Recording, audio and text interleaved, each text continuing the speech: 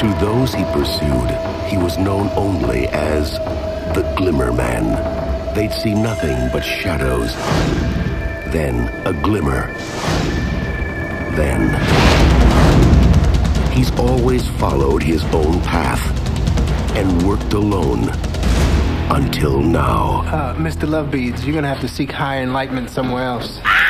They don't see eye to eye. This guy's weird. Drop the gun.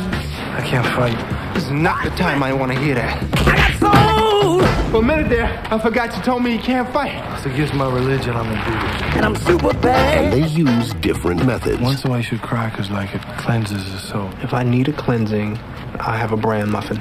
But on this case, Pray that we hurry up and find this killer so I don't have to be with your crazy ass much longer. opposites do attract. He's a little country. I'm a little bit rock and roll. get you some red boots and a cape, and you can fly around the city and stop all the crime.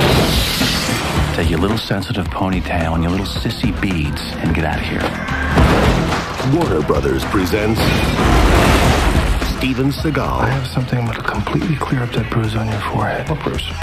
That bruise. Keenen Ivory Wayans. Do you know I'm black? You learn well, Grasshopper. The Glimmer Man.